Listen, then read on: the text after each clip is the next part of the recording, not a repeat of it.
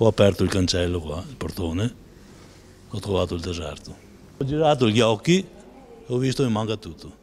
Tre trattori. Tre trattori. Il furto subito a fine novembre dall'azienda agricola Masona Torreselle di Piombino Dese, campagne anche nella vicinissima Badoere, ha aperto una stagione drammatica per le aziende agricole della Marca. I furti di trattori, mezzi che costano anche 100.000 euro, non sono più casi isolati, ma si contano a decine. Tre trattori a Cessalto, bottino oltre 250.000 euro, altrettanti a Motta, due a Resana, ritrovati questi ultimi grazie al GPS in un camion con targa rumena pronto a partire per l'Europa dell'Est. L'ultimo furto è notizia di queste ore in un'azienda agricola di Vittorio Veneto, una recrudescenza di colpi che ha portato la Coldiretti di Treviso a chiedere aiuto alla prefettura con il presidente Giorgio Polegato che ha incontrato il prefetto Maria Rosari alla Ganà. Creerà un comitato ad hoc per questo, questa emergenza appunto con le forze dell'ordine in modo da capire se, se, come poter prevenire questi tipi di reato.